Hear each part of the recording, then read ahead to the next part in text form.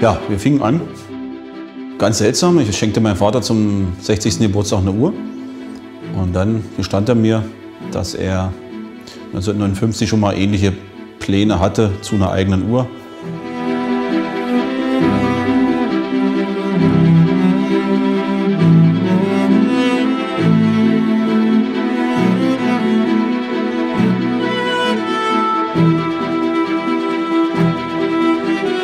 Gesagt, du, wir probieren das mit den Mitteln, die wir haben, das zu machen. Und das ist eigentlich bis heute so geblieben, dass wir mit den vorhandenen Ressourcen aus dem Handwerk heraus handwerklich hergestellte Uhren für unsere Kunden produzieren.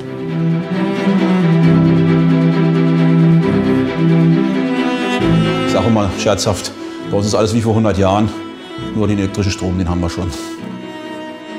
Im Gegenschluss ist es natürlich so, dass wir viele unserer Kunden persönlich kennen und auch äh, für unsere Kunden ist es schön, dass die uns kennen, dass ich sagen kann, der Mitarbeiter hat dieses gemacht, der Mitarbeiter hat jenes an ihrer Uhr gemacht.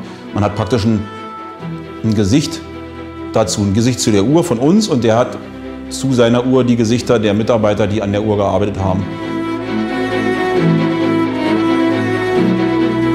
Wir machen 10 bis 15 Uhren im Monat und mehr sollen das eigentlich auch nicht werden. Und im Vordergrund steht bei uns wirklich die handwerkliche Fertigung der Uhren bzw. der Uhrenkomponenten und auch äh, der Familienbetrieb als, äh, als solches in der zweiten Generation, das Verhältnis zu den Mitarbeitern. Das ist das, denke ich, was die Uhren ausmacht.